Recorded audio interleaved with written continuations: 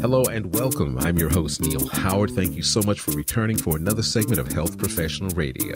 Speaking of returning, we're going to be speaking with returning guest Dr. Boro Dropulic this morning. He's joining us here as co-founder and executive director of Caring Cross to talk about uh, the dosing of the first patient in the first human clinical trial of CAR T, its potential cure for HIV. Welcome back, Boro. How have you been? Thanks, Neil. I really appreciate you having me back. For our listeners who may not be familiar with you as a contributor, give us a little bit of a reminder as to your background and uh, what led you briefly to Caring Cross.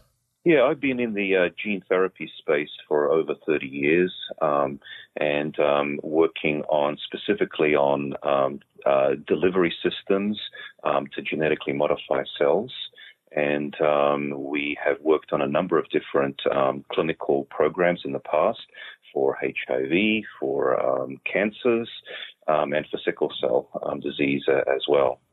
Um, and I was uh, previously in uh, various uh, companies, and and we see that the the gene therapy field, particularly like CAR T cells, have shown a lot of promise. Um, but we've also seen the issue of affordability and access with these products costing um, a very um, high um, price that we don't believe is affordable and sustainable over the long term. Mm-hmm. So my co-founder and I, uh, Dr. Rimas Orentas, um, we founded uh, Caring Cross in order to tackle some of these issues, to sort of think about them differently so that we can make these uh, transformative therapies affordable and accessible for everyone. So what have you been up to since we last spoke? Uh, uh, it's been about a year. We were talking about CAR T cells. What's going on? What's the latest advancements and um, what can we expect? Yeah, thanks for asking that question, Neil. So um, we've been very busy over the past year. Um, we initiated our phase one two clinical trial, uh, which is an anti-HIV duo CAR T trial uh, for the treatment of HIV. These are cells that are living medicines um, that are infused into um, um, participants on the trial and we're looking to establish for safety and then at the right dose to um, establish um, efficacy. Um, we're at the early stages. We've now um, dosed uh, two participants. We're very um, excited with the initial um, data that we're seeing. but also, we've been working on all of our other programs, including uh, gene modified cells for the treatment of sickle cell disease and also um, various cancers. Also, we're a highly collaborative organization and we've been initiating several important collaborations to advance our various programs. What was it particularly about CAR T that led you to choose HIV for a trial to expand that technology? Yes, yeah, so CAR Ts have been very effective um, and um, in the treatment of um, white blood cell cancers like leukemias, lymphomas, and multiple myelomas, and um, um, and HIV uh, uh, as a virus infects white blood cells, right? Um, and and there's a unique aspect that when HIV infects those cells and then tries to multiply itself, it expresses its own proteins on the surface of the white blood cells. And that makes that a very unique target uh, for a CAR T cell to see and then kill specifically that cell off. Um, and so our goal here with anti-HIV um, duo CAR T cell therapy is to eliminate HIV infected cells long term in the body, right? And um, where the CAR T cells um, survive long term and then uh, kill off these cells so you decrease the overall viral load or the virus's ability to replicate um, in the body long term. Hmm. And what we do know is about HIV is the higher the viral load, um, the, the, sooner you progress. The lower the viral load, um, and if you can keep it very low um, um, indefinitely, um, there is no progression to disease. It's all based on viral load. Are there several locations where these trials will be taking place? Well, right now, this is a phase one, two clinical trial, so it is limited. Um, it's being done both at the University of California at San Francisco and the University of California at Davis. Mm. Um, the principal investigator is Dr. Steve Deeks. He's a professor at UCSF.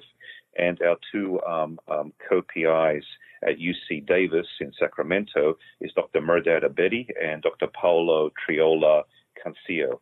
Um, and um, the first two participants have been dosed at the University of California um, at Davis. And uh, so far, we're um, seeing, um, um, you know, no safety issues whatsoever.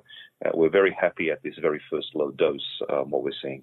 So, if this success uh, continues, would this be considered an actual cure for HIV? We hear a lot about being undetectable. There is no actual cure, but if, as you say, this virus, these uh, cells can be eliminated, thereby lowering the viral load more and more and more, would this be considered a cure for HIV? Well, our goal is to really reduce the viral load um, um, to a very low level indefinitely.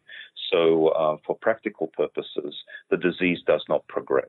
Okay. Um, sometimes when people think about cure, they think about um, getting rid of the virus completely. And the virus is is in the body um, in, in, and is hidden in many different compartments.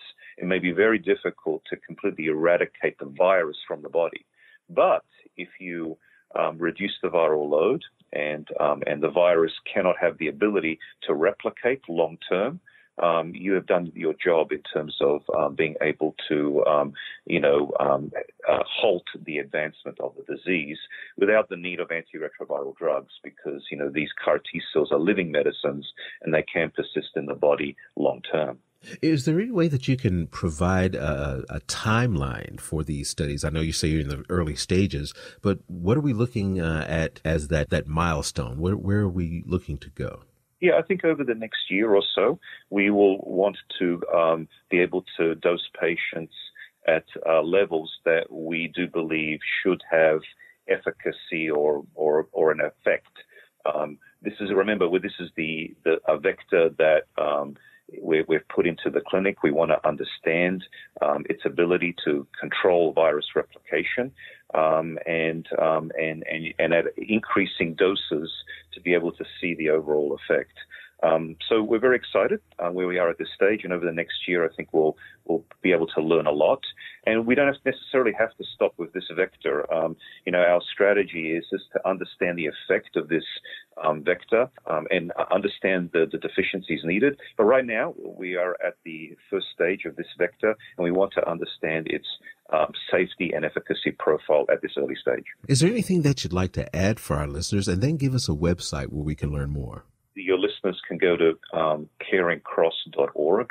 Um, you can see our various programs that we are developing. Like uh, you, like you mentioned, we're a nonprofit, um, um, so but we're highly collaborative, and our goal is to make these kind of medicines affordable and accessible all around the world um, by reducing their cost and um, focusing on uh, decentralized manufacturing, where these products are made locally, close to hospitals, um, in an affordable and accessible way. But you can learn a lot more on our website at caringcross.org. Boro, always a pleasure speaking with you. I'm looking forward to our next conversation. Thank you very much. Thanks for having me, Neil. I really appreciate it. You've been listening to Health Professional Radio. I'm your host, Neil Howard, in conversation with returning guest, Dr. Boro Dropulic. Audio copies of this program are available at hpr.fm and healthprofessionalradio.com.au. You can also subscribe to the podcast on iTunes, listen in, download at Anchor, Spotify, and be sure and subscribe to our YouTube channel at youtube.com,